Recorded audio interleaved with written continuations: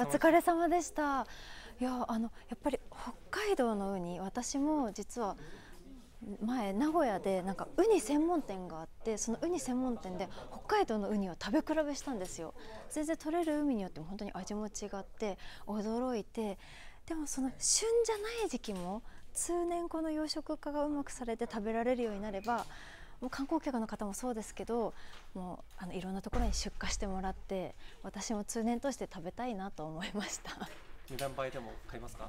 いやもうそれはちょっとあの勘弁してください。なのであの安定流通が安定してあのお手頃価格で食べられるようになればいいなと思って見てましたね。ナマコもありましたけど。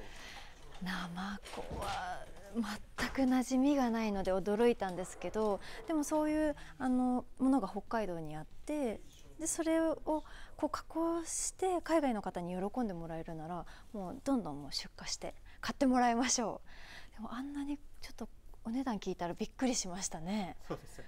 ねイボ立ちがいいなんていうふうに言ってるんですけど。しっくりこないです全然なるほどね。まあでもあのビジネスチャンスがたくさんいろんなところにあるなって思いました。来週は海を出て陸の酪農ですか？そうですね。そうですね。まあね北海道そうですよね。海産物だけじゃないですもんね。来週も楽しみです。ありがとうございました。ありがとうございました